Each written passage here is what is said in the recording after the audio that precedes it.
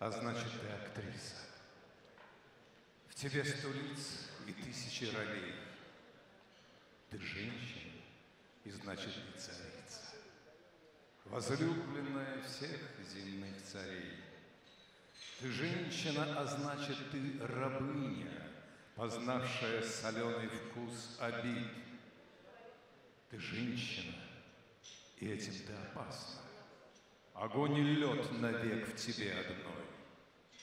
Ты женщина, и в мире все дороги ведут к тебе, а не в какой-то Рим.